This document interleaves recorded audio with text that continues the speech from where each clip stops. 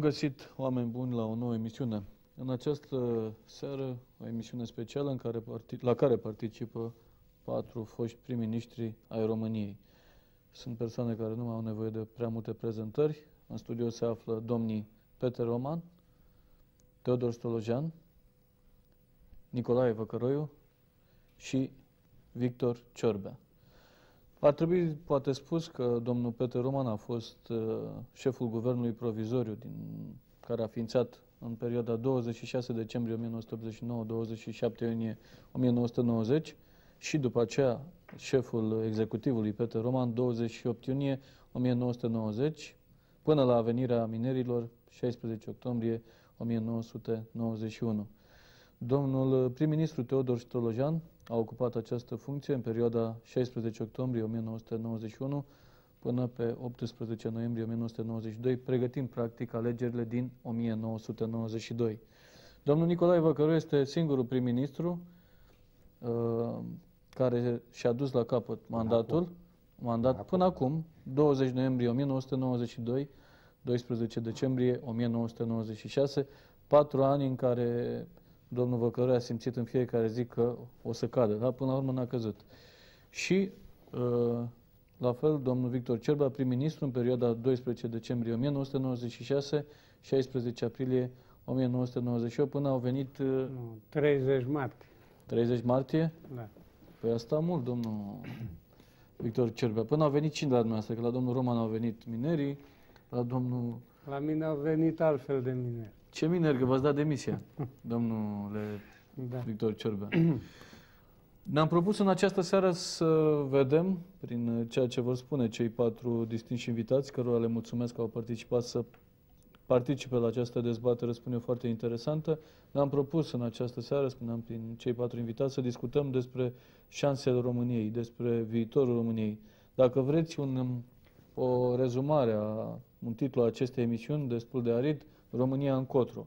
Experiența celor patru uh, nu este una oarecare, este o experiență trăită într-o perioadă foarte grea pentru România, așa cum este și perioada în care trăim. O perioadă de criză, o perioadă uh, care pare fără sfârșit, o perioadă care uh, retează aproape orice speranță.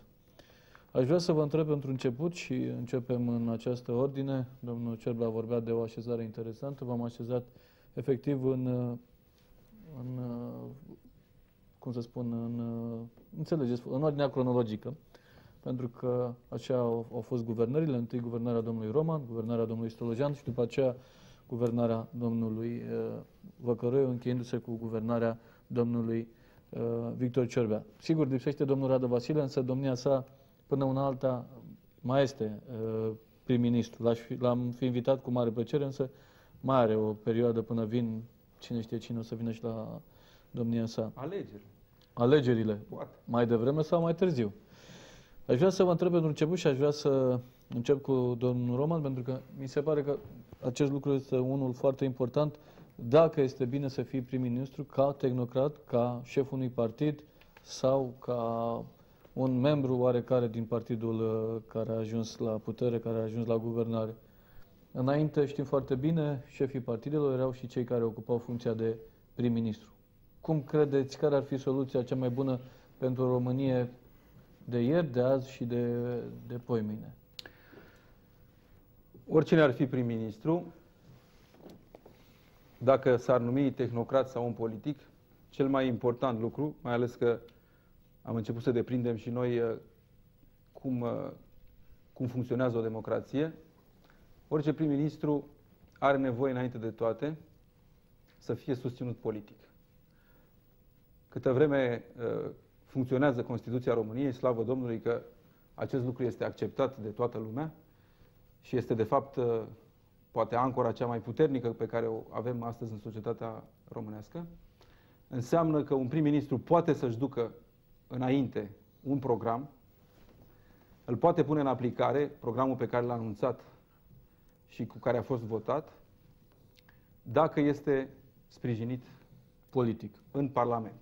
Deci dacă există o majoritate solidă, mm-hmm. din acest punct de vedere ați amintit dumneavoastră de prim-ministri care erau lideri de partid. Lucrul ăsta este foarte normal în multe țări. în Franța, în Marea Britanie, în Spania, în Portugalia, în Austria, în Germania, unde uh, primii miniștri sunt liderii partidelor care guvernează uh, singure sau uh, sunt partide larg majoritare. În aceste condiții, primul ministru are siguranța că își poate îndeplini program. Dacă primul ministru are și calitatea de a fi condus efectiv administrației, de a fi, să zicem, un anume tehnocrat, uh, cu atât mai bine. Însă condiția de bază pentru ca să, se, ca să reușească să-și pună în aplicare un program este forța politică care îl sprijine. Această forță politică trebuie să fie coerentă, să fie stabilă de-a lungul mandatului uh, care, e, care i-a fost uh, încredințat. Așadar, ar fi cu atât mai bine dacă cel care ajunge prim-ministru ar fi și șeful partidului, formațiunii sau partidului care ar face parte dintr-o coaliție și ar ajunge la putere. În... Automat el are și sprijinul politic din Parlament. Așa este. Uh, cu condiția, să spunem... La noi nu s-a întâmplat până acum acest Ba da, vedeți, domnul Văcăroiu a fost prim-ministru într-un guvern în care, uh, multă vreme de alminteri, uh, guvernul era format numai de PDS. Nu, eu am zis că nu s-a întâmplat acest lucru domnul Văcărău nu era președintele partidului care da, l-a dus însă la era, însă avea, avea un sprijin politic parlamentar.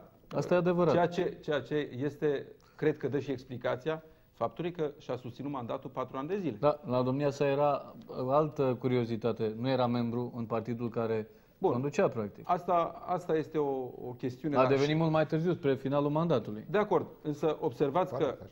totuși elementul esențial rămâne acela că un prim-ministru își poate uh, duce la, la bun sfârșit un, un program sau poate să-și uh, construiască uh, un, un set de măsuri, un program de măsuri cu care merge înainte, dacă este bine sprijinit politic. Asta este condiția, condiția esențială. Sigur că dacă un prim-ministru nu dă randament, aceeași forță politică poate decide Sigur poate decide uh, schimbarea lui. Stând și uitându-mă la dumneavoastră, la toți patru, îmi dau seama că fiecare dintre dumneavoastră a venit într-un fel la putere sau a avut uh, funcția pe care a ocupat-o, uh, a avut o anumită, cum să zic, uh, consistență sau a fost sprijinită. Dumneavoastră, domnule Roman, ați venit ca fiind omul al doilea în partid, atunci pe valul Revoluției și având o popularitate foarte mare.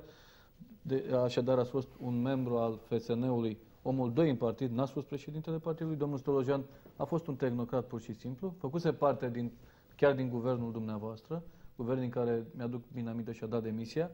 Domnul Văcăroi a fost la fel un tehnocrat pentru început, pentru că, așa cum spuneam, a devenit uh, membru de partid la finalul celor patru ani de mandat, iar domnul Victor Cerbea a venit tot ca... Când ați devenit uh, membru al PNCCD-ului? În momentul în, în care ați candidat la alegerile da, pentru primăria capitalei. În momentul în care m-am înscris în cursa pentru campania pentru primar general. Nu erați un, un, nu erați un țărănit, să spunem, de foarte multă vreme. Erați un țărănit scriptic, proaspăt. Scriptic.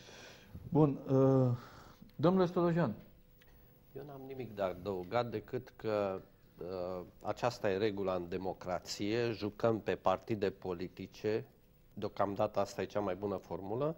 Apar accidente, așa cum a fost în septembrie 91, care a condus la un guvern care într-un fel, avea tot un sprijin politic, și anume partidele politice reprezentate în Parlament, care au avut un, uh, o înțelegere ca să sprijine acest guvern pe perioada până la organizarea... Până la alegeri. Până la alegeri. Sigur că între timp uh, uh, a intervenit decizia de a se aproba anticonstituția, pe urmă de a se ține întâi alegerile locale, pe urmă toată lumea, sau o parte, să spunem, din forțele politice au fost de acord să amâne alegerile generale. Asta se vorbește foarte mult de posibilitatea sau de necesitatea unui guvern de tehnocrați. Credeți că este, nu. ar fi o soluție și v-ați înhăma la, un astfel, la conducerea unui astfel de guvern? Nu. Fără sprijin Asta, nu. politic? Nu, de ce? Pentru că, încă o dată, noi suntem într-o democrație. Deci dacă astăzi se ajunge la con- concluzia că nu mai există un sprijin în Parlament pentru guvern sau guvernul nu dă randament, trebuie organizate alegeri anticipate. Aceasta este calea democratică. Adică e foarte greu să nu există un motiv. Oamenii au făcut o opțiune în uh, noiembrie 96 și această opțiune trebuie dusă până la capăt. Am înțeles, domnul Văcărău. Da, aș confirma și eu cu următoarea observație. În primul rând, sprijinul politic este obligatoriu să existe și trebuie să fie consistent, adică să ai un suport în spate cât mai puternic. Uh, în același timp însă, uh, pentru perioada pe care o parcurge România, faptul că nu suntem într-o economie așezată, o legislație stabilă, totul se construiește. Uh, ai nevoie de un prim-ministru care să aibă cunoștințele necesare pentru a putea face o politică coerentă, pentru a putea ține mână o, o echipă. Uh, și cred că lucrul cel mai important uh, dintre toate, afară de sprijinul politic, uh, îl reprezintă modul cum primul ministru reușește să-și aleagă această echipă. În caz contrar, apar imediat divergențe după o perioadă scurtă de timp, puncte de vedere diferite, se scapă de sub control obiectivele Deci echipa majore. trebuie făcută de primul ministru? La propunerea primului ministru și, bineînțeles, având în chiar parte, atunci în când spate, e cazul, chiar atunci când e vorba de o coaliție? Indiscutabil. Propunerile trebuie să vină din, conform Constituției, de altfel. Propunerile vin din partea primului ministru, președintele Uh, le aprobă, el este cel care uh, aprobă miniștri, mm-hmm. însă grija primului ministru este să-și aleagă o echipă uh, puternică, sudată de oameni care să cunoască cât de cât sectoarele pe care le coordonează, Uh, și în spate, al treilea element, uh, care depinde, depinde în exclusivitate de uh, primul ministru, este echipa de consilieri, care prezintă o importanță cu totul de excepție. Am înțeles. Domnule Cerbea, noastră v-ați făcut echipa sau v-a fost impusă echipa pe care ați condus-o? Deci, mai întâi, eu optez categoric pentru varianta în care premierul este sau ar trebui să fie șef de partid. Aceasta este varianta cea mai potrivită. Pentru că, în mod cert, într-o astfel de situație, are în spate structura politică necesară și are sprijinul Pe care politic o și conduce. Absolut necesar, sigur că da. De altfel, cea mai mare greșeală a mea a fost să accept Le această funcție fără să am da, nu, n-ați avut niciun cuvânt de spus în ceea ce privește echipa pe care ați condus-o la Palatul Victoria? Ba sau? da, mi s-a dat posibilitatea să-mi numesc trei șefi de departamente. Șeful departamentului de control, cel al relației cu sindicatele și purtătorul de cuvânt. Atât? Atât. Bun, păi, atunci dumneavoastră ați acceptat, n-am acceptat da. eu. În regulă. Deci, de aici decurg toate celelalte. Sigur, aș mai adăuga faptul că în timp ce guvernele anterioare, guvernul domnului președinte Roman sau a domnului Văcăroi au fost aproape monocolore, primul a fost clar monocolor, al domnului Stolojan a fost bicolor, al meu a fost uh, format din patru grupări importante, reunind cam 11 formațiuni politice. Deci este încă o dimensiune nouă apropo de... Care 11? Că nu. Păi haideți să le numărăm dacă vreți. Ia. Păi CDR da. practic înseamnă PNCCD și PNL. Și PER, și Doi. FER, păi... și PAR erau cinci. Deci numai în Așa. CDR urmă în USD erau două, șapte și în UDMR sunt cel puțin patru platforme, ah, dar sunt mai multe. Așa ajungeți că aveați 20. Nu. În regulă. Deci 8, poftim, luați 8, nu 11. În regulă.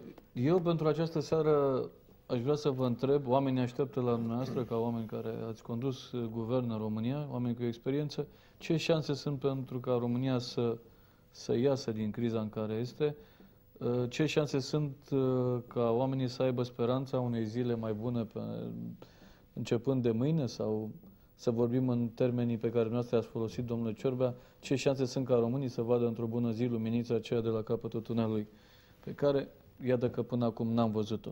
Și aș vrea să, să vă întreb în început, ce ne cere Uniunea Europeană? Deci Uniunea Europeană, una dintre condițiile Uniunii Europene pentru a pătrunde și în Europa, era acea stabilitate macroeconomică.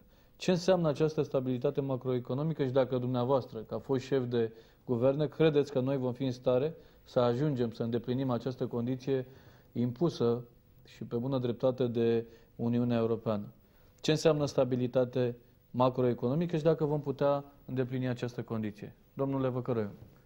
V-aș ruga pe scurt, da, pentru că e, da, o să, să aibă încerc timp uh, fiecare. foarte să pe scurt, deși întrebarea noastră este extrem de complexă. Uh, Ce doresc să vă spun? Uh, În primul rând, uh, această condiție, cele două condiții impuse de Uniunea Europeană, este legată de uh, data începerii negocierilor. și nu Absolut. De integrare. Pentru că de aici până la integrare este o perioadă de 10-12 Până ani. la negocieri, domnul intens. Văcăre. Deci până la negocieri. Uh, Stabilitatea macroeconomică uh, s-a mai realizat în România uh, și nu odată, cam, uh, dacă nu mă înșel eu, de trei ori pe parcursul uh, Haideți să vedem dacă se va realiza. acestei perioade.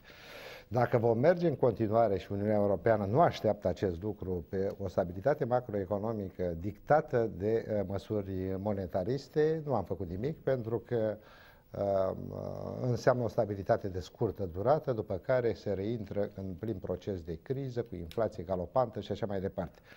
Stabilitatea macroeconomică pe care o, sus- uh, o cere Uniunea Europeană înseamnă să aibă o bază solidă plecând de la nivel micro. Deci un proces complex care să însemne uh, un climat uh, uh, economic favorabil de dezvoltare a afacerilor în România, o legislație stabilă și pe cât posibil în tranziție armonizată cu legislația existentă în Uniunea uh, Europeană. Uh, în al doilea rând, uh, Ține și de inflație aceste stimulente indiscutabil. stabilitate macroeconomică, pentru că pe oamenii interesează foarte mult și aș vrea să vorbim și pe înțeles oamenilor, interesează foarte mult dacă banii pe care îi câștigă astăzi vor mai însemna ceva apoi mâine. Uh, La sfârșitul lui septembrie 99, comparativ cu decembrie 98, avem inflație 39%. Deci în septembrie. Da, da, Asta până la da, sfârșitul anului, probabil că da. uh, va fi mai mare ca anul. La sfârșitul anului 98, comparativ cu decembrie 97, am aflat o inflație 41% din datele care există. Așadar, anul acesta a devenit aproape un fapt că inflația va fi mai mare decât anul trecut, pentru că suntem de-abia în septembrie, până la sfârșitul anului. Ce înseamnă acest lucru pentru România și dacă vom reuși să îndreptăm lucrurile? Dacă vă referiți la acest an, nu. Dacă vă referiți la uh, anul 2000, mi-este greu uh, să vă dau astăzi un răspuns că se poate realiza stabilitatea macroeconomică. De ce? Pentru că toate elementele, m, uh, toți factorii care influențează această uh, stabilitate uh, sunt departe de a putea fi creați într-un uh, timp uh, atât de scurt. Ce factori? Uh, Sunt foarte mulți, începând de la uh, factori din domeniul, uh, din domeniul politicii comerciale, factori din domeniul fiscalității, al politicii financiare, al politicii uh, monetare, deci este un complex de factori care trebuie corelați între ei, astfel încât uh, să se reușească, pe de o parte, stoparea acestei uh, prăbușiri a economiei uh, pe care o simțim astăzi, deci stoparea acestui proces, începerea uh, refacerii prin legislație a unui climat de afaceri uh, bun, a unui climat, uh, aș spune, stabil, uh, care să însemne uh, inițiatorul, mai ales cel din domeniul privat, să aibă libertatea de mișcare, să nu fie uh, permanent supus la presiuni prin modificări în legislație, uh, care, bineînțeles, îi dă peste cap întregul business care uh, și l-a, uh, și l-a pus în aplicare. Haideți că mai revenim după ce Da. facem un tur complet, dacă mai aveți adăugiri, vă Da, da, vă rog. acolo. Domnul președinte, domnul prim-ministru Peter Roman. Vă rog. Fiecare etapă de macrostabilizare în țara noastră a început printr-o, printr-un puseu inflaționist, adică printr-o foarte mare inflație. Și în uh, 91 a fost o inflație la o masivă liberalizare a prețurilor, care, mă rog, n-a fost, a fost de 70 la, 72%. În 93 a fost de 300%, în 96, în 97 a fost de 200%. De ce? Pentru că înseamnă că în economia erau niște distorsiuni grave, niște dezechilibre grave între cerere și ofertă, între preț și realitatea economică. Deci primul pas, din păcate, al reformei începea cu o inflație foarte mare. Ce se aștepta în continuare? După ce, din acel moment, înseamnă că întreprinderile se aflau într-o, într-o realitate economică, într-un adevăr economic, adică își puteau măsura rezultatele muncilor, produsele lor pe piață, după cum și produsele pe care le cumpărau ca să producă, într-o realitate economică, într-un adevăr economic, corespundeau deci realității de pe piață și deci, dacă ele performau din acel moment corect, însemna că intrăm într-o uh, stare economică mai bună. Nu s-a întâmplat lucrul ăsta. De ce nu s-a întâmplat lucrul ăsta? Nu s-a întâmplat lucrul ăsta pentru că Nu s-a ponderea... întâmplat ceea ce înseamnă că oamenii au fost chinuiți degeaba încă un an de zile. Cel puțin Au făcut ultima- sacrificii degeaba. Așa este. Au făcut sacrificii degeaba. De ce? Pentru că urmare a acestui puseu inflaționist, când întreprinderile trebuiau să performeze, ponderea activităților economice în pierdere nu a fost stopată. Stopat. A- N-am vrut să mă refer la trecut, dar nu ne putem referi la viitor dacă nu deslușim puțin acest trecut. Deci, ca macrostabilizarea actuală să reușească, este necesar ca ponderea activităților economice neperformante și a ponderea banilor publici cheltuiți ineficient să scadă mult, în așa fel încât banii cheltuiți eficient să aducă cu sine dezvoltarea Eu nu aș economică. vrea să politizăm această discuție Asta nu e o- din seara nu e- asta. nu e politizare. Nu, nu, nu, tocmai. Întrebați Nu, vă și pe pun- colegii de aici prezenți, Vă pun dacă- următoarea întrebare, deci n-a fost nicio legătură între ceea ce a spus dumneavoastră Ah, de acord. și fapt. Eu vreau să vă întreb, pen- plecând de la datele pe care le-ați anunțat dumneavoastră, dacă există șansa ca omul măcar să nu mai fie chinuit degeaba. Pentru că au fost Da. chinuit ani întregi degeaba. S-au tăiat facilități, s-a strâns cureaua, s-au folosit expresii plastice pentru aceste suferințe de a iarnă, mai, vară, primăvară fără, și a- toamnă. fără a ne mai referi la, la trecut. Uh, Deci ori de câte ori, cel puțin în ce mă privește, o voi face în această seară referiri la trecut, va fi cu caracter tehnic și nu cu caracter politic, atâta vreme cât ne menținem cu toții în aceste reguli.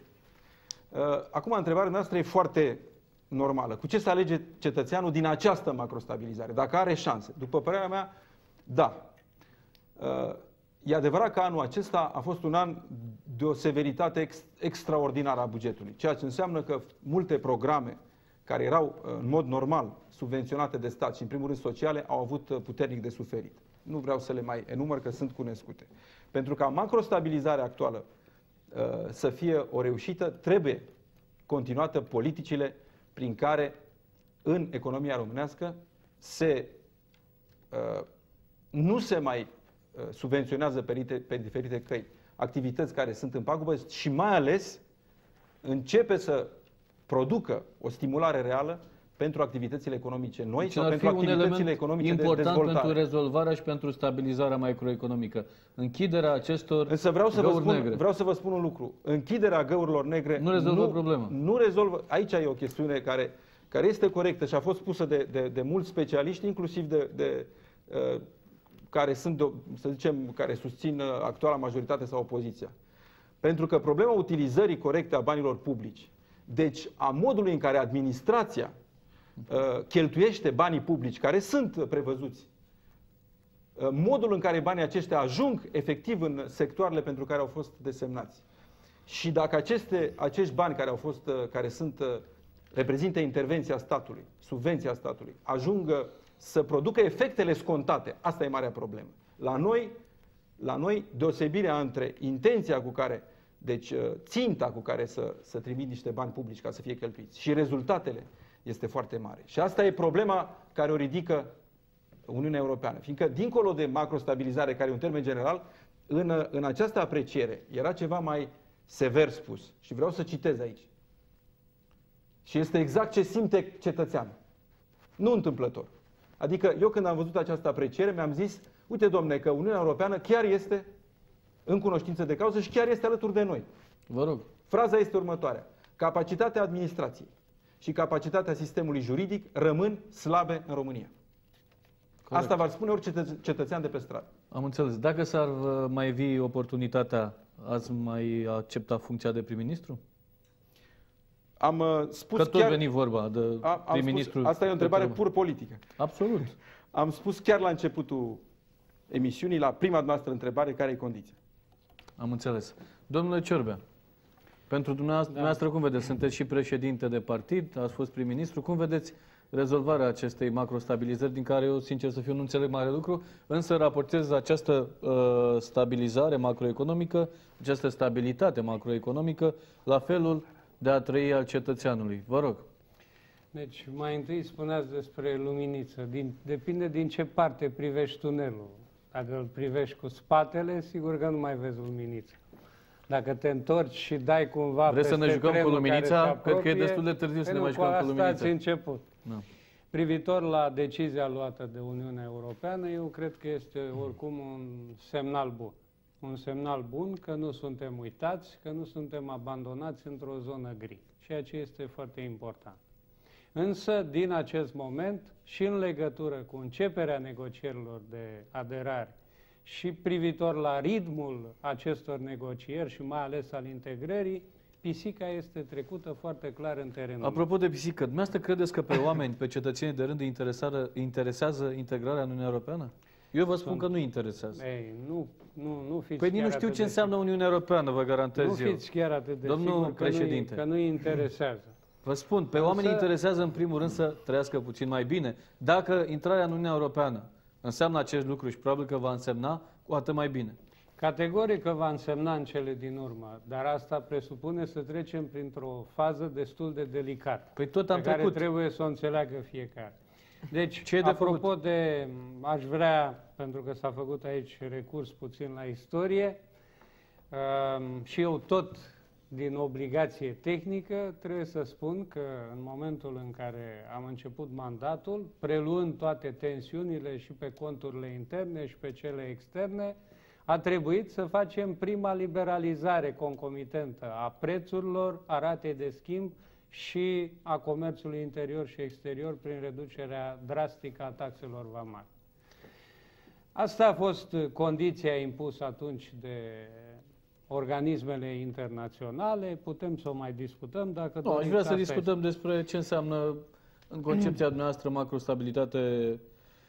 Um, și atunci am luat stabilitate macroeconomică și cum se poate astea, face acest Astea lucru. au ținut de necesitatea asigurării Nu, unei aș vrea să vorbim de aici înainte macroeconomice. ce ar trebui făcut ca să se Iar ajungă la tot acest lucru. atunci a trebuit, am fost nevoit să reducem dramatic deficitul uh, fiscal și Domnul deficitul prim-ministru, eu bugetar. vorbeam, eu vorbeam de aici înainte ce Ei, ar trebui făcut. De aici înainte, toate acele lucruri și toate acele Așa. măsuri care le-am luat au fost uh, apreciate Intrăm într-o la discuție vremea în care nu aceea mai ieșim până la ca- 4 dimineața. ca dacă ne absolut referim la necesare. Dacă vreți să vorbiți singur sau numai cu invitații dumneavoastră, sigur că eu pot să vă las. Nu, Dacă nu îmi puteți dați să mă voie lăsați, să, că- să vorbesc și eu, Eu și nu m-ați sunt- invitat să vorbim Domnul împreună, prim-ministru, nu puteți să mă atunci lăsați, că nu discutăm. sunt Emil Constantinescu Dacă să nu, mă atunci lăsați. nu îmi creați Deci eu nu situații sunt Emil din astea. Constantinescu deci, să mă până lăsați acum dumneavoastră. n-ați făcut decât să mă împiedicați să vorbesc. Și știți de ce? De la începutul emisiunii. Și știți de Dacă ce? doriți să continuați în același ritm, spuneți-o foarte clar, pentru că eu Deci pot să mă voi retrag. continua eu n-am, același eu ritm? n-am ținut să particip la această emisiune. Deci eu voi continua și același nu ritm, doresc măsura în în care niciun dumneavoastră nu vă caz... referiți la viitor.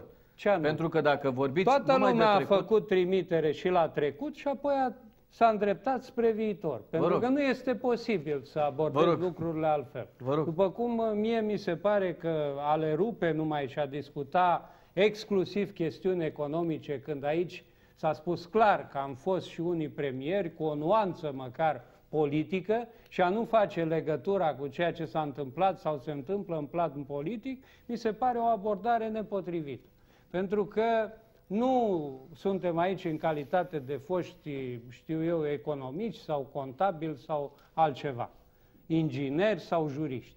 Suntem în calitate de foști premieri și în această calitate fiecare dintre noi a trebuit să facă față unor situații politice, economice și sociale determinate. Și cred că ar fi fost mai potrivit să începem cu această analiză și cu această descriere a situației prin care am uh, trecut. Ori, din uh, punctul meu de uh, vedere, sigur că o astfel de analiză ar presupune să, să ne întrebăm unde suntem astăzi și de ce suntem aici. Și în funcție de asta să răspundem dacă această macrostabilizare se poate realiza în perspectivă imediată sau pe termen mediu și lung și în ce condiții se poate realiza. Deci aceasta ar fi maniera mea. Și din acest punct de vedere, eu cred că ar trebui să vedem care sunt uh, exact elementele care uh, descriu situația actuală. Evident că fiecare dintre noi avem puncte de vedere diferite în această privință. În uh, opinia noastră cel puțin, considerăm că nu avem o ruptură reală și profundă cu sistemul comunist din mai multe motive, Nu s-a făcut încă un proces moral al comunismului care să-l pună în lumină, nu vorbesc al comuniștilor, să pună în lumină ca un regim antiuman și anticreștin. Pe de altă parte, nu s-a realizat încă o reală separație a puterilor în stat. E bine că în raportul Comisiei Europene este menționată ca o realizare, dar noi trebuie să fim conștienți că mai avem încă un drum lung pe această cale. Și apropo, spuneați că sunt președinte de partid. Nu sunt încă președintele unui partid înregistrat.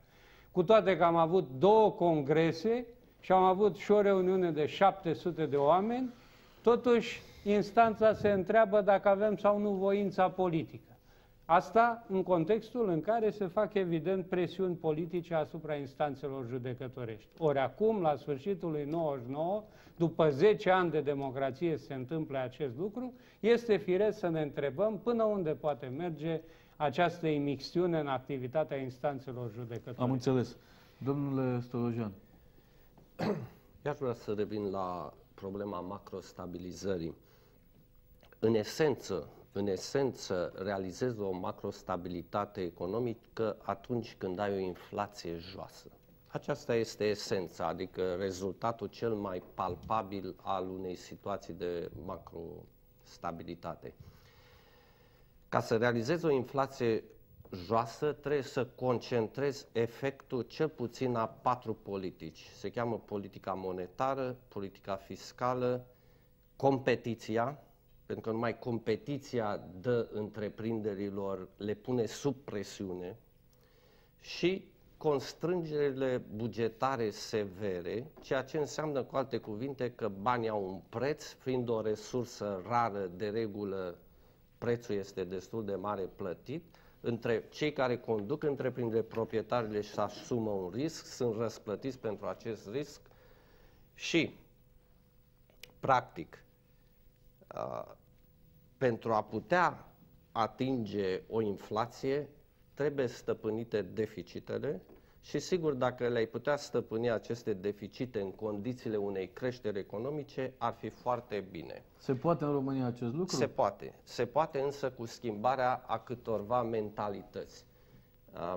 Eu am mai afirmat-o și rămân la convingerea că România Uh, nu este o țară care trebuie să-și acopere consumul zilnic al populației și al întreprinderilor, deci mă refer la consumul de materii prime, salarii, etc., împrumutându-se. România în prezent, de 10 ani, face acest lucru. Se împrumută pentru consumul zilnic al populației și al uh, uh, întreprinderilor. Uh, eu am văzut țări care, într-adevăr, nu au această capacitate și trăiesc tot timpul din donații, din credite externe, practic fără ajutoare externe nu pot să-și desfășoare activitatea. Uh, România nu este o asemenea țară. O asemenea politică poate fi acceptată pentru o perioadă scurtă de timp, un an, doi ani, până când faci niște transformări. În momentul când faci o tranziție de la un sistem de valori, sisteme, mecanisme, principii, prin care se realiza o echilibre în dinamică, pe care se asigurau stimulente pentru creșterea economică, faci tranziția la un alt sistem bazat pe totul alte principii, pornind de la democrație, de la libertatea economică, evident că ți se produc niște rupturi, niște distorsiuni.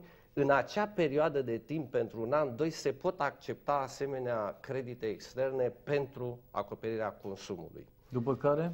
După care, practic, trebuie să încetezi cu așa ceva, mai ales în cazul unei țări ca România, care are resursele pentru a-și acoperi consumul zilnic, și să iei credite externe pentru programe de investiții. Și dovada cea mai concludentă este că România, de fapt, nu poate consuma banii care îi are pentru programe de investiții. Reafirm un lucru care a fost dat de câteva ori în presă, noi nu am folosit aproape un miliard de dolari în decursul anilor, aprobați însă pe programe de investiții, care sunt foarte greu de realizat, trebuie urmărite și așa.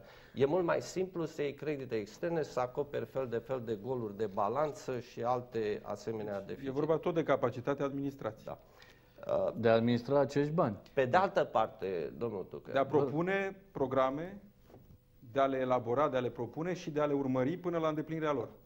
Pe de altă parte, domnul Vă rog. Tudcă, nu e nimic rău în a avea deficite.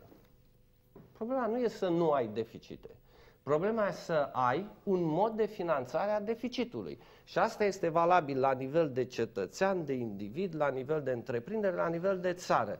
Dar deficitul trebuie să fie finanțat printr-un contract clar. Un contract care poate fi formal, informal, între doi oameni pe stradă, doi amici, doi prieteni, se pot împrumuta unul pe altul fără contracte, dar există cuvânt, există integritate și așa mai departe. Deci un deficit trebuie finanțat întotdeauna printr-un contract. Și contractul poate să fie bun sau poate să fie oneros pentru România. De exemplu, dacă România cade acum în păcatul în care era să cadă să se împrumute cu 17% doar pentru a satisface niște condiții, noroc că în final și FMI-ul și-a dat seama că o asemenea Și a practică renunțat la nu este această- în regulă, a renunțat, dar a venit în schimb și cere alte condiții și așa mai departe. Vom vorbi despre condițiile Bun. alea, pentru că Deci, vom vorbi în uh, această seară și despre organismele internaționale, Deci femei și Banca deficitele Mondială. trebuie stăpânite. Nu vine altcineva în România să ne stăpânească aceste deficite.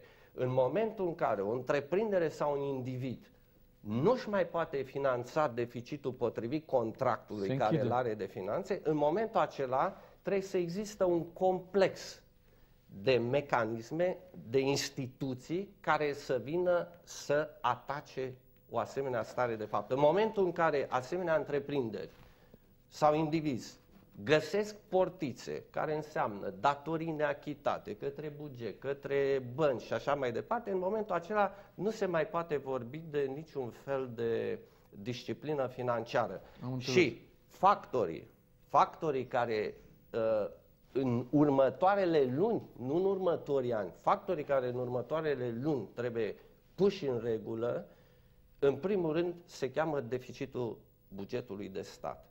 Uh, Deficitul fiscal pe un plan mai larg, incluzând și întreprinderile de stat. România, și asta am spus-o de la începutul anului, nu-și poate permite nici măcar un deficit de 2% să-l financeze în condiții acceptabile. De fapt, ce s-a întâmplat în acest an de am ajuns ca după un an întreg de uh, privațiuni Sacrificii. efective, să înregistrăm de fapt o inflație mai mare decât anul trecut. S-a întâmplat un fapt foarte simplu. De fapt sunt doi. Unu, pe de o parte, bugetul care urma să se împrumute să-și financeze deficitul și din resurse externe nu a putut să o facă și a trebuit să apeleze numai la piața internă care bă, reacționează pe stimulente. Nu poți obliga băncile să financeze economia când pot finanța deficitul bugetar cu niște dobânzi cămătărești, ceea ce s-a întâmplat în martie, aprilie și așa mai departe. Deci aceasta a fost uh, primul factor, iar uh, sigur al doilea factor a fost uh, la fel incapacitatea sistemului bancar de a se împrumuta pe piața externă din cauza dobânzilor foarte ridicate. A pune în regulă deficitul fiscal înseamnă a regândi obiectivele. Prin urmare, vedeți dumneavoastră, uh, există niște limite de finanțare. Ce ne-a arătat acest an? Că dacă uh, depășesc aceste limite, ori ajung de mă împrumut prea scump la extern, ori ajung de vin pe piața internă și drenez toate resursele. În loc ca băncile să se întoarcă cu fața spre întreprinderi pentru proiecte, au găsit această cale nemaipomenită de a finanța cu dobânzi cămătărești Am bugetul. înțeles. Un moment numai. Vă rog.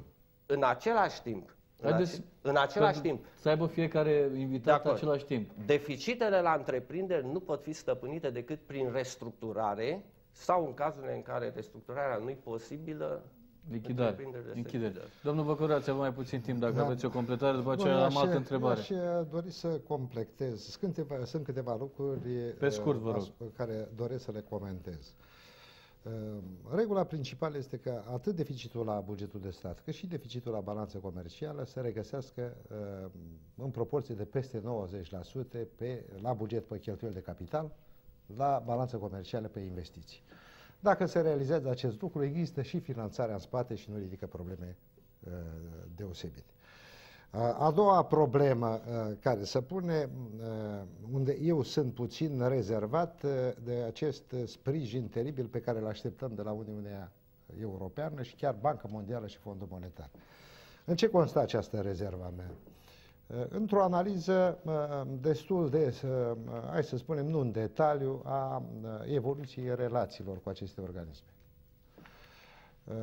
A fost un anumit punct când s-a produs și ruptură în continuitatea reformei, când dintr-o dată s-a produs o schimbare cu, la 180 de grade și programe finanțate cu asistență tehnică în spate, care însemna refacerea stabilității macroeconomice pe creștere economică și nu pe cădere, pentru că sunt valabile ambele alternative pentru refacerea stabilității, toate aceste mecanisme au fost aruncate dintr-o dată peste bord.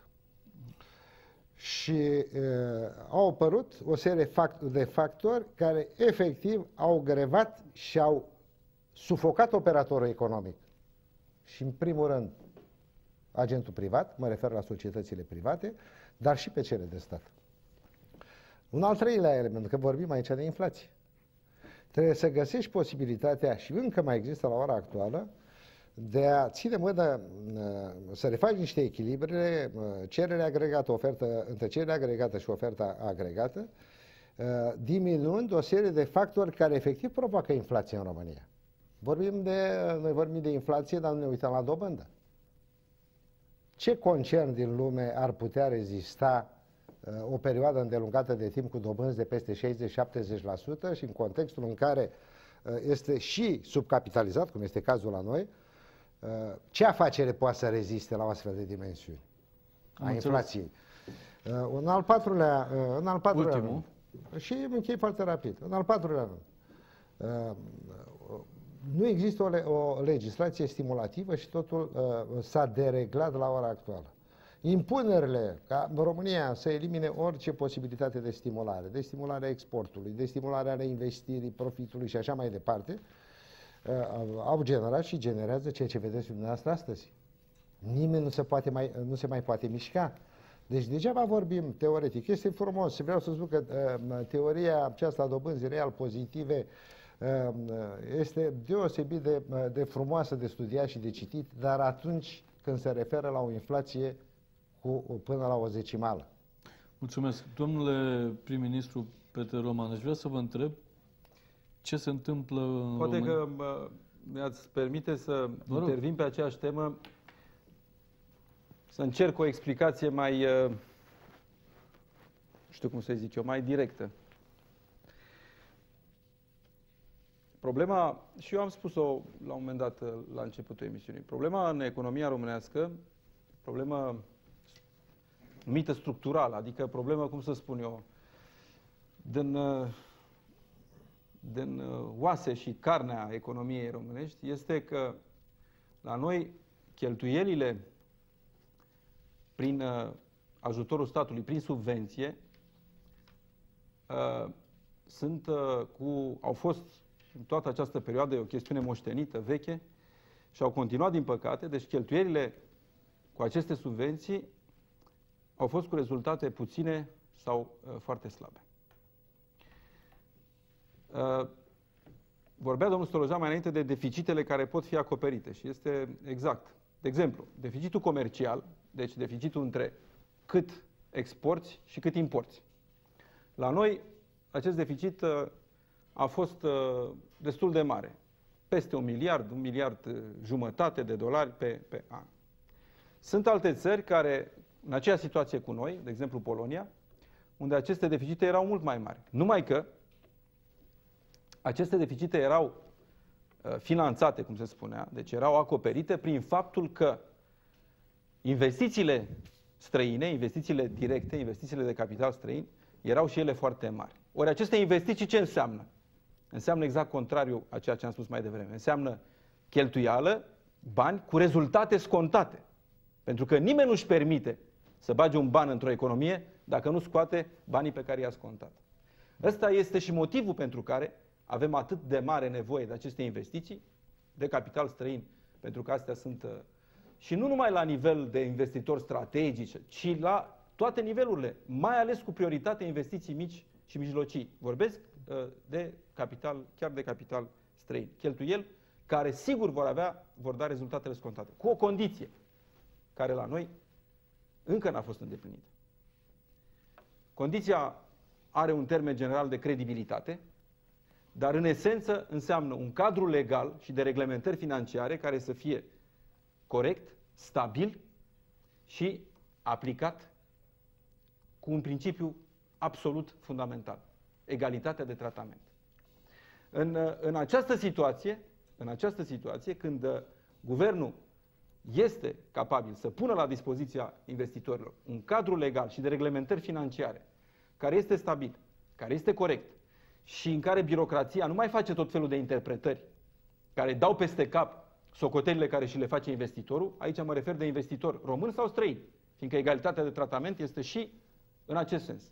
E bine, atunci există o credibilitate a țării care s-a creat și atunci uh, există posibilitatea de a finanța, cum s-a spus, de a acoperi uh, aceste deficite care sunt, uh, ca să spun, într-o anumită măsură inevitabile într-o economie care încă trebuie să se schimbe din temelii, trebuie să se modernizeze, trebuie să introducă tehnologii care să fie la ordinea zilei, trebuie să introducă procedee care să fie moderne, în așa fel încât produsele pe care le producem să fie... Mulțumesc! Însă, și cu asta, cu asta termin.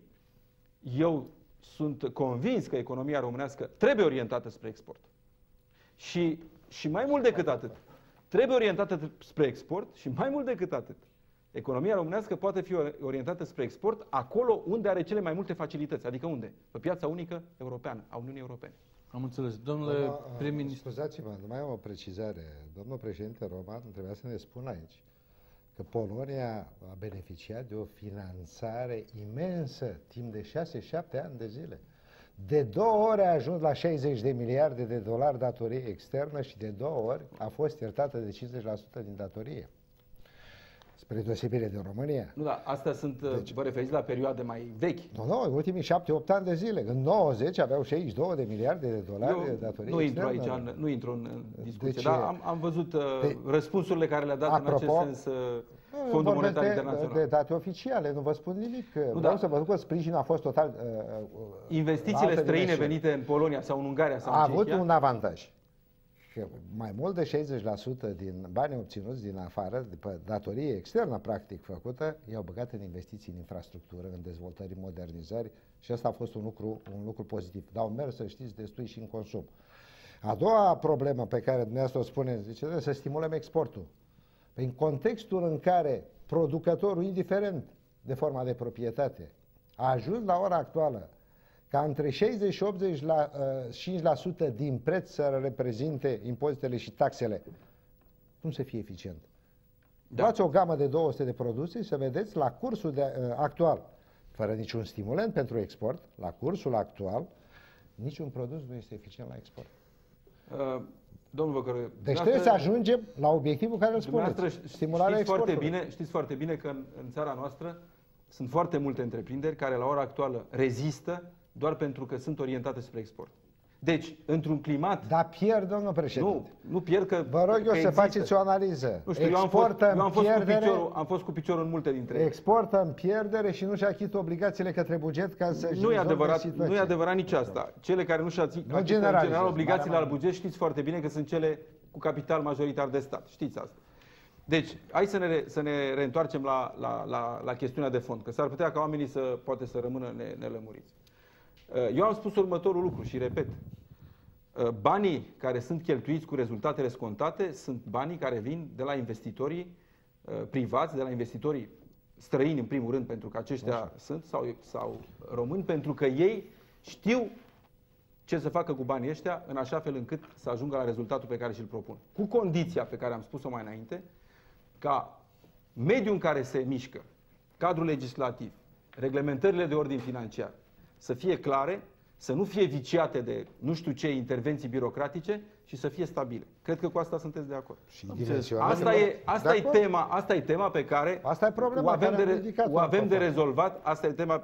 Ideea însă că, ideea însă că s-ar putea să uh, sprijinim economia prin, uh, uh spuneați dumneavoastră, prin uh, stimulente care să fie acordate la export, fără, fără să țin seama dacă bilanțul întreprinderii respective este un bilanț pozitiv, eu cred că nu este, nu stă în picioare. Nu, dar nici nu se pune astfel de probleme. E, nu știu cam, unde... cam așa... Nu, nu, asta, cam așa asta să... a fost în gândirea dumneavoastră. Nu, a eu, doua... știu, eu știu cum, a, cum s-a întâmplat. Nu, nu, știți, dar nu haideți, știți domnul, vă, Domnule prim-ministru Văcăru, haideți să lăsăm și pe domnul prim-ministru Victor Cerva, da, chiar dacă a fost doar o perioadă scurtă în această funcție. Vă rog, Păi- dacă aveți o completare, pentru că eu am apucat să deschid subiectul Am cu o prima... completare, da. Imediat uh, am să vă dau voie cu prima întrebare și mai am foarte multe. Vă rog. Deci, două, trei precizări. De acord uh, cu această subliniere că subvențiile au rezultate foarte slabe și a fost considerentul pentru care uh, am apreciat și în agricultură, între altele, că structurile de stat nu trebuie să beneficieze de subvenții. S-au acordat acele subvenții directe către producători, care se acordă și azi, e adevărat, într-un quantum S-ar poate putea și ceva mâine. mai puțin, uh, mai puțin important. Apoi, la m, condițiile menționate aici, privitoare la investițiile capitalului străin, s-a subliniat necesitatea credibilității. Asta este esențială. Credibilitatea și pe plan intern, dar mai ales credibilitatea pe plan extern, dacă vrem să avem investiții de capital străin serioase. Și uh, aș uh, sublinia că fără a aplica niște facilități cu totul deosebite, abia către sfârșitul lui 97 a fost adoptată ordonanța de urgență 31 cu acele facilități și pentru investitorii din țară și din străinătate, care după căderea guvernului a fost suspendată. Totuși s-au înregistrat, aș sublinia un aspect important, cred, primele investiții uh, prin intermediul piețelor de capital foarte importante, semnificative. Și un ultim uh, aspect, nu este suficientă stabilitatea legislativă, ci este absolut necesară și o bătălie, un război serios împotriva corupției. Păi asta Atâta- duce domnul Constantinescu, nu, vă mai... uh, faceți deci probleme. să lăsăm glumele Nu e deoparte, nicio glumă, să, domnul să, discutăm, prim-ministru. să discutăm serios. Dar eu vorbesc absolut serios. Dumneavoastră Da. treceți așa cu ușurință peste Da, campania eu, uh, declanșată de domnul Constantinescu? Deci eu spun că această campanie a fost, uh, steagul ei a fost ridicat permanent în 90, în continuu s-a vorbit despre el, însă toate marile afaceri de corupție au rămas neatinse și asta o știm bine. Iar bătălia aceasta ultimă a eșuat, după părerea mea, din mai multe cauze, aș menționa doar două. ca să Înainte fiu de a ieși concis. dumneavoastră de la guvernare sau după aceea? a eșuat în- înainte de a se naște. Pe de o parte, murit în pentru fașă, că, cum se spune. Da, pentru că a fost transferată spre organisme care nu aveau abilitare, niște organisme ad hoc create uh, fără atribuții în materie și pe de altă parte pentru că s-a mers pe aceeași formulă care a fost practicată și Deci înainte. dumneavoastră vreți să vă mai acrediteze pe la tribunal, domnul președinte, dacă Eh. spuneți asta, domnul președinte? Nu, Am uh, înțeles. Bine, Nu, nu, nu, Vă lăsați-mă rog. să duc ideea până la capăt rog. măcar. Vă rog. Și așa Pentru că mă lăsați să vorbesc câte 15 dumneavoastră vorbiți secunde, cel mai dar, puțin, așa este. Da, măcar să duc o idee până la capăt. Și Vă rog. Doi, e, principala cauză, s-a practicat aceeași metodă dinainte, și anume e, împărțirea între corupții lor și corupții unora și corupții altora. Și până la urmă, niciunii n-au fost sancționați cum se cuvine, ci au fost găsiți diversi acar pe unul. Dar uh, ceea ce vreau să subliniez este acel uh, studiu făcut de Departamentul Trezoreriei Americane apropo de economia subterană uh, de la noi și care este într-adevăr și edificator și extrem de îngrijorător. Subliniază faptul că până în 95 a crescut într-un rit constant, dar s-a, o spun foarte deschis, s-a menținut în uh, media, să spun așa, a estului și centrului Europei. În 96 a cunoscut un salt uh, important. În 97, întâmplător sau nu, a scăzut. Iar nu în- întâmplător. Scăderea Bun. a fost corect. iar în 98 a crescut la 49,1% în condițiile în care țările în curs de dezvoltare au o medie de 33% și cele din estul și centrul Europei au 23%. Deci, e, și aici fac precizarea, nu provine din munca la negru a bietului om care trebuie să-și câștige o bucată de pâine sau din uh, obligația întreprinzătorului mic și mijlociu de a evada spre zona gri pentru că fiscalitatea e prea mare. Provine din marile tunuri date la importuri, o spun foarte clar analiști.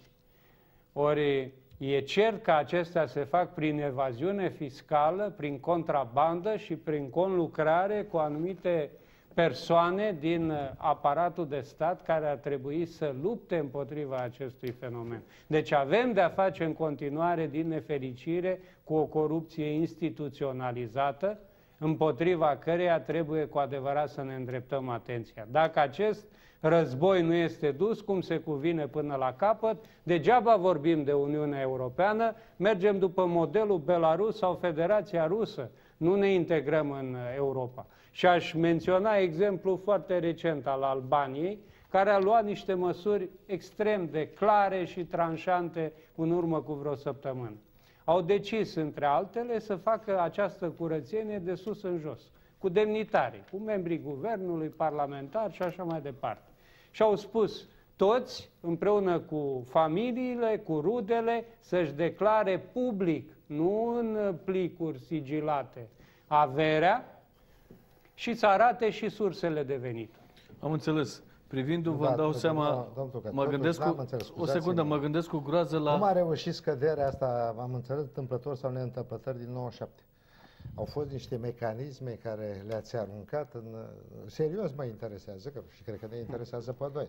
Deci, înțeleg așa, că crescut fenomenul ăsta... că n-ați văzut uh, studiul acela. Nu, nu, dar care sunt... Uh, eu vă felicit, dar care sunt măsurile care le-ați luat în 97 de s-a produs acea cădere fantastică? Nu, au fost măsurile luate Serios, în general la nivelul economiei și care au atras după ele această deci au fost scădere. măsuri generale. Da. S-ar putea să fie măsuri Însă... luate în 96 cu efect în 97. nu, că mă interesa și e treaba asta. Nu, au fost luate în 92, domnul prim-ministru. 92 au fost luate și s-au produs efecte efectele 97. Ba chiar în 90. Da. Când, când, nici nu se vorbea de, coru- când nici nu se vorbea de corupție. Sigur.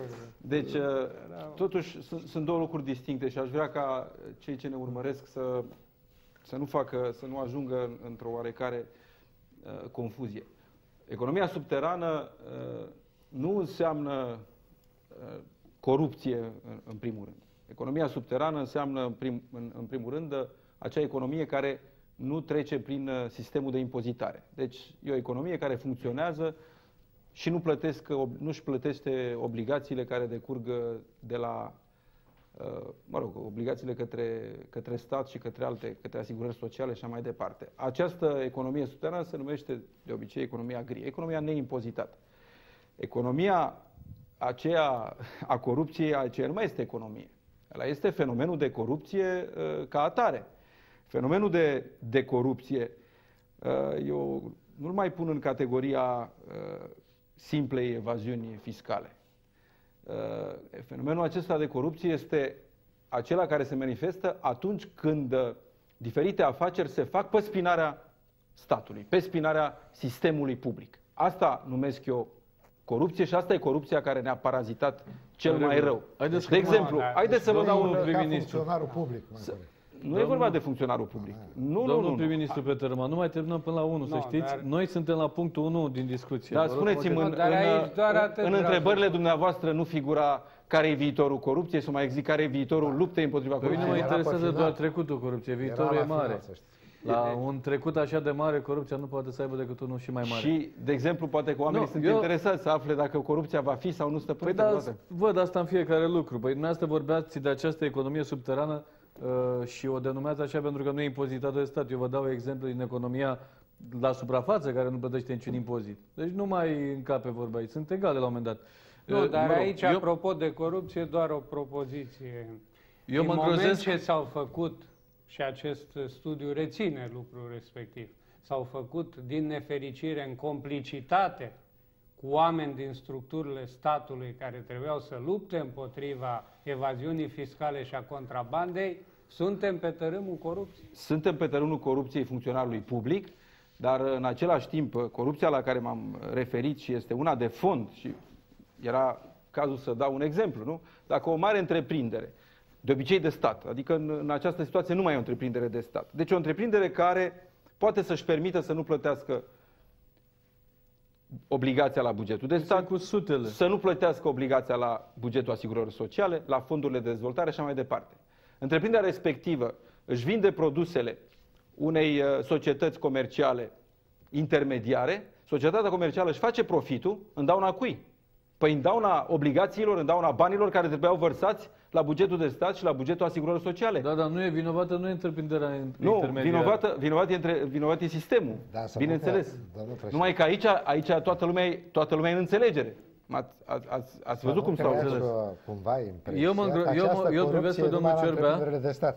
Eu privesc Acest pe- tip de domnul- corupție- Dimensiunea e mai mare Lăsați-mă să dincolo. spun și eu Acest ceva. tip de corupție Vă rog se eu frumos. referă, se referă la, de ce la economia de stat? Pentru că la Dimensiunea economia de dincolo. stat, într-adevăr, din păcate, nu mai există controlul proprietarului Eu îl măream pe asupra dom- întreprinderii domnul respective. prim-ministru Petru Roman, eu îl măream pe domnul prim-ministru Victor Ciorbea și mă gândeam cu groază la domnul Constantinescu și la domnul Diaconescu, la cei care se află la putere, pentru că va fi o campanie foarte grea în care veți, dacă atacați cum atacați acum, va fi foarte greu pentru dânsii Da. să răspundă Câtă acestor vreme, ataque. câtă vreme acest lucru se atacă de pe poziții serioase, cu Absolut. analize serioase, Nu, da, ca, absolut. care e problema? Niciuna, m- mi-e îmi părea rău de domn din cauză pe care i-am amintit. Nu, dar Domnule nu, Stolojan, nu e cazul să, să facem aici discriminări, pentru că am spus uh, foarte clar că această corupție și are rădăcinile Deci va ataca în bloc. serioase. știți că una e când te înjură ăla Serioase. care Deci va te-a ataca înjurat în bloc, dintotdeauna și da. alta e ăla care a stat cu tine în în casă. perioada dinainte. Nu Aș trebuie vrea să să- uităm acest lucru și Totuși- toate marile afaceri de corupție au rămas Problema nu- neelucidate, din păcate. Eu cred că problema nu mai e să constatăm că e corupție, ci dacă, Dumneavoastră fiind șef de formațiuni politice, Dacă aveți impresia că există- puteți vorbi mai mult, am impresia. nu, dacă există și care sunt mijloacele pentru a stopa corupția, asta e mai... Știți, toleranța față de corupție, asta s-a instalat în societatea noastră. Da. Și ăsta e lucrul cel mai grav. Am înțeles. Domnule Stolojan, vreau să vă întreb ce se întâmplă cu creșterea economică la noi? Pentru că noi, de, practic, de ceva vreme, de câțiva ani, nu avem creștere economică. Și orice om poate să spună atunci când vorbește de e, lipsa acestei creșteri economice, poate să vorbească de sărăcie. În același timp, la această ultimă conferință națională a PDSR-ului s-a vorbit foarte mult de rolul statului, de um, în ce măsură poate să intervină statul în, în economie. Pentru că automat a fost acuzat PDSR-ul, Dumneavoastră sunteți pe o poziție neutră, până în alta nu sunteți nicio formațiune politică. Spuneam că a fost acuzat PDSR-ul atunci când a vorbit de intervenția statului sau de controlul statului. Asta Aș vrea de, să cei, legați... de cei care n-au înțeles despre ce e vorba. Stați că o să vedem. Aș vrea să legăm aceste două lucruri, dacă le puteți lega, dacă nu se le lua separat, descreșterea economică de ani de zile și, practic, sărăcia și uh, acest rol al statului, intervenție sau ne- non-intervenție a statului. Bun. Uh, Eu v-aș da un exemplu simplu care leagă toate aspectele astea de care am discutat, corupție, care înseamnă folosirea funcției publice în interes personal privat, Uh, inclusiv creștere economică, in- așa. Uh, Spațiile comerciale, domnul Tucă, am mai discutat de ele. Deci s-a întâmplat un fenomen în decursul anilor prin care spațiile comerciale au ajuns în mâna primăriilor. Și astăzi, după 10 ani de tranziție sau la 10 ani, spațiile comerciale nu sunt încă vândute. Se tot fac eforturi, se anunță De acord cu dumneavoastră, nimic din turism nu e vândut, domnule jumătate. Mai este, mai este. Uh, domnul Tucă, ce înseamnă asta? Aici statul are un Ați rol. fost la mare, domnul Văcăreu. Păi nu e nimic vândut, de ce spuneți că mai este? Vreau Deci, să domnul vă Tucă, spun, vă dar rog, există. Eu vreau să Exact. spun următorul lucru. Nu se poate stârpi corupția care provine dintr-un sistem organizat, în sensul că acei care închiriază continuu și refac contractele de închiriere Sau pentru sub spații închiriere și așa mai comerciale, departe. normal ca o putere în mână și au învățat foarte rapid ce înseamnă această putere și de aceea ritmul de vânzare a acestor spații comerciale este cum este, că nu s-a terminat nici în al 10-lea an ceea ce trebuia făcut în primii ani. Și în consecință, statul aici ar avea un rol imens. Statul nu înseamnă numai Parlamentul și Guvernul, înseamnă și autoritatea locală care ar trebui să facă acest lucru. Și atunci s-ar rezolva multe lucruri. Am dat un exemplu. Revin la creșterea economică. Uh, Este evident pentru toată lumea că pe termen lung creșterea economică înseamnă totul.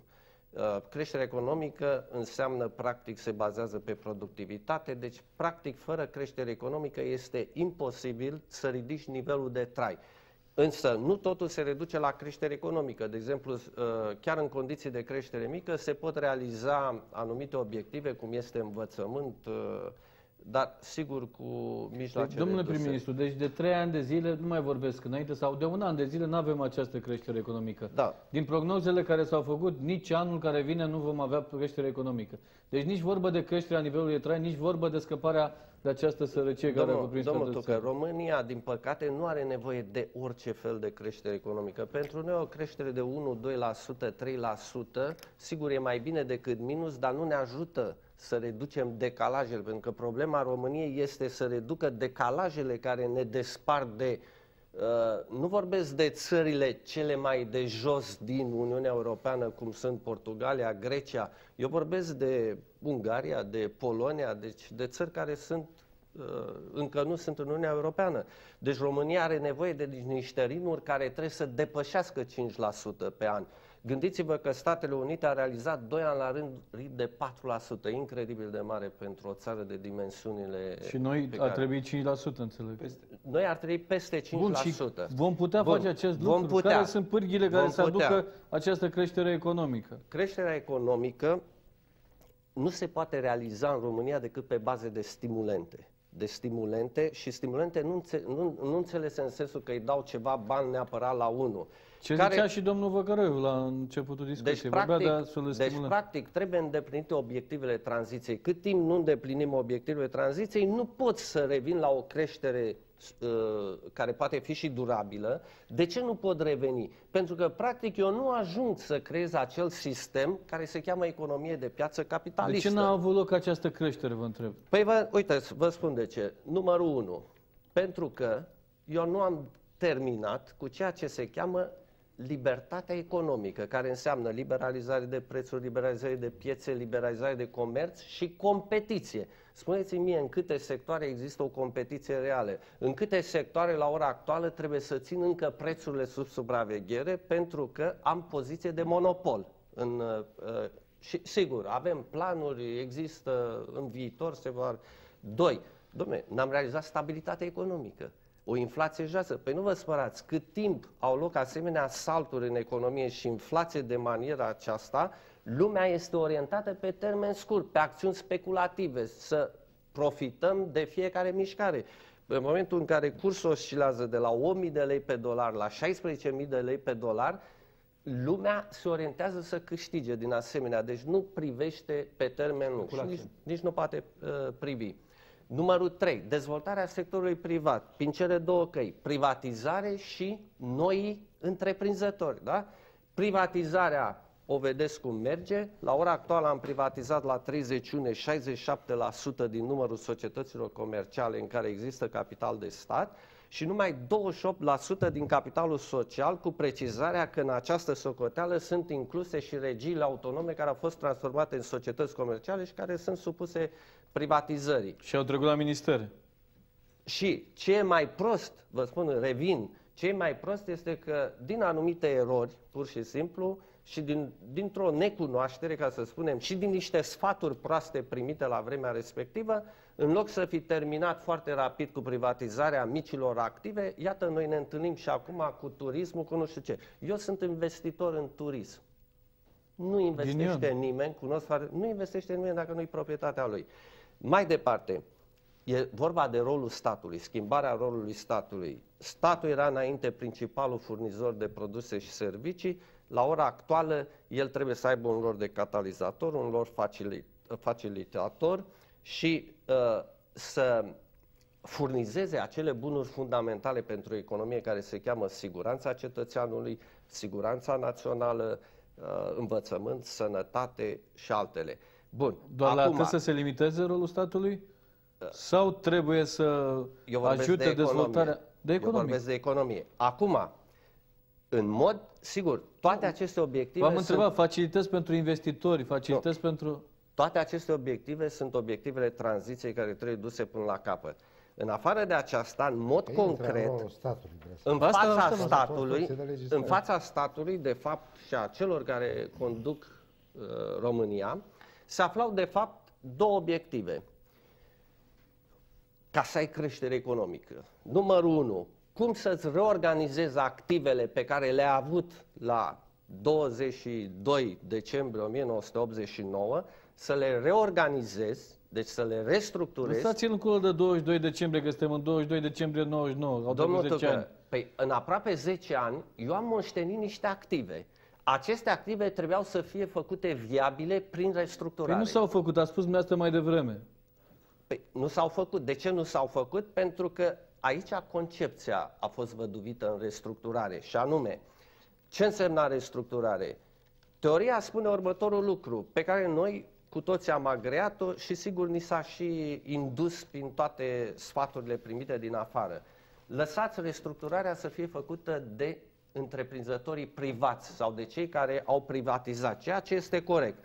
Din păcate însă, ani de zile, dintr-un motiv sau altul, nu s-au privatizat și am rămas cu întreprinderi cu capital de stat care acumulau pierderi, care acumulau datorii, fără să mă ocup de ele, să intru într-o restructurare. Exemplul cel mai concludent, dacă vreți, este tractorul.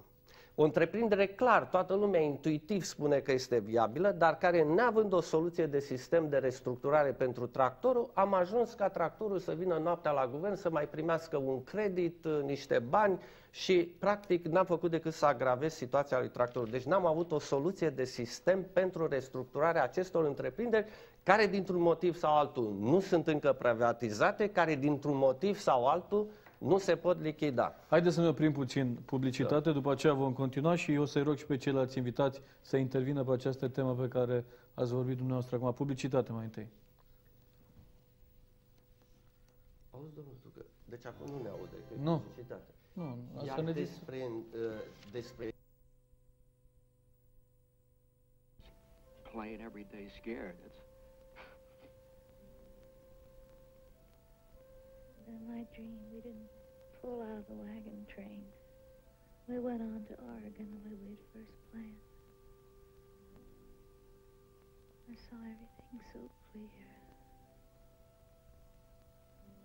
This land up there, as far as we could see. Our. Land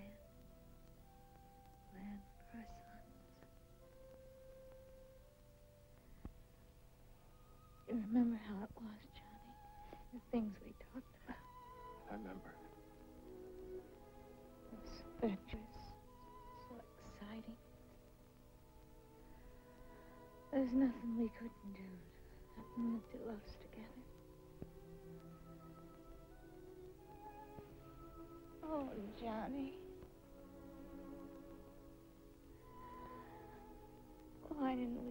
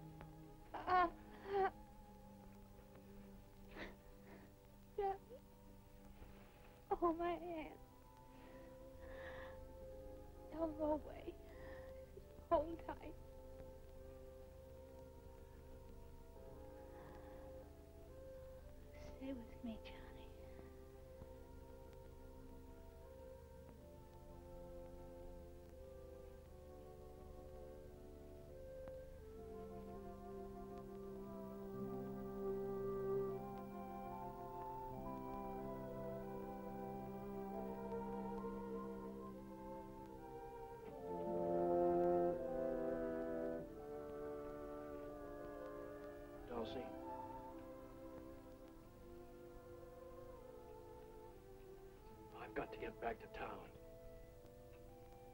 Well, there's obviously nothing holding you here. There are some men in town. And I I just feel it's better if I be there. I said that there was nothing holding you here. I've got to get in there.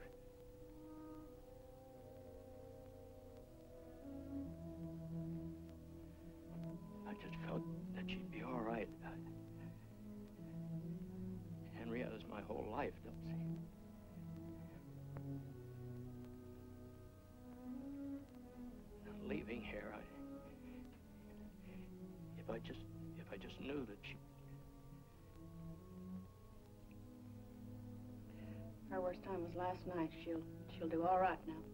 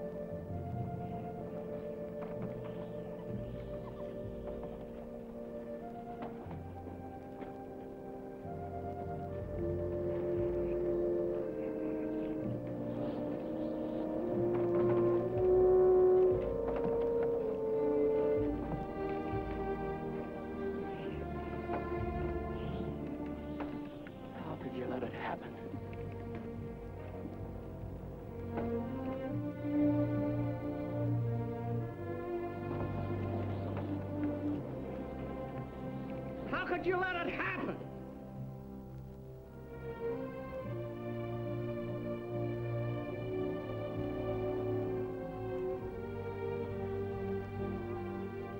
Find no law, you set your own.